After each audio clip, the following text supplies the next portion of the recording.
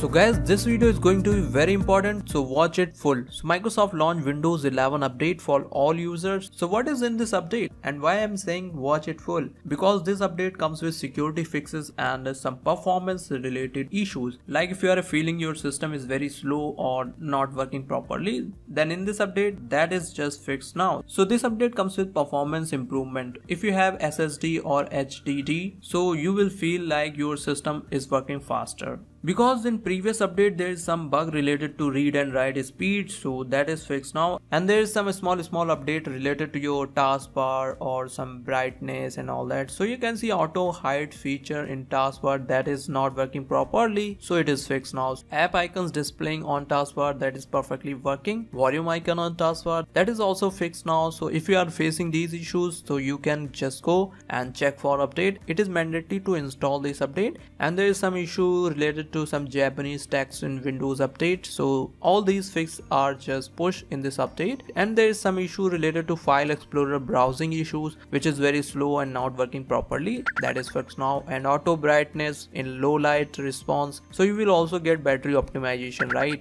Color rendering for some images editing programs. If you have auto HDR in your displays, so you will get better color rendering on your images or your video editing, right? So these things are just fixed in this update. So this this is a great update for all users. Here you will see i installed this update and check the version here 2200493 and in account section you will see here your microsoft account and you will get here some detail about your microsoft account like microsoft office and all that. And some other improvement is like uh, going to display settings. And at the bottom you will see here help with display so you can see set up multiple monitors. So these are the some links added so you can get better help from these links. So okay guys that's it for for this update. I hope you like this video so just hit the like button and do subscribe if you are new on the channel. So okay guys thank you so much for watching this video.